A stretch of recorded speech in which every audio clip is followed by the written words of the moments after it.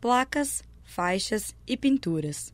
Todo tipo de sinalização visual é muito importante para auxiliar, ordenar e garantir a segurança de quem transita pela universidade. Frente a isso, alunos do curso do Desenho Industrial da UFSM criaram um projeto de revitalização do sistema de sinalização da universidade. O projeto surgiu a partir da disciplina de sinalização.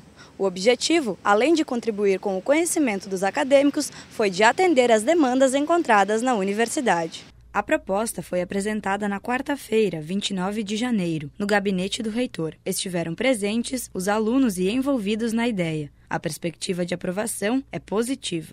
Bom, o projeto começou com uma demanda é, a partir da sinalização viária da universidade, um redesenho, né, uma reorganização.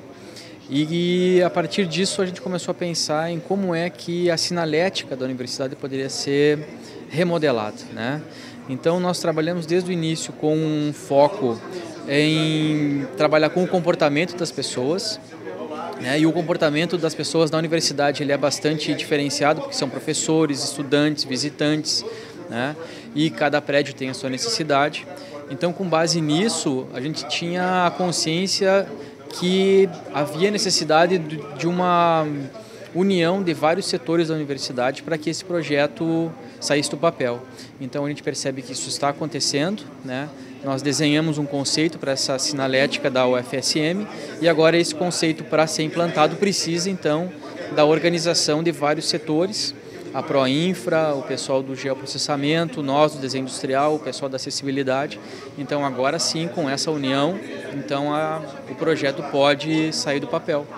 O reitor Paulo Burman considera que com o crescimento físico da universidade, o projeto de sinalização é relevante e deve ser trabalhado firmemente para que haja uma boa comunicação interna no campus. Esse grupo do desenho industrial vem com, construindo um projeto desde 2012 e, e está buscando, dentro dessa perspectiva que estamos abrindo de implementar uma mudança nesse, nesse sentido, está buscando o espaço para viabilizar a, a criação, o, o refinamento do projeto e a implantação.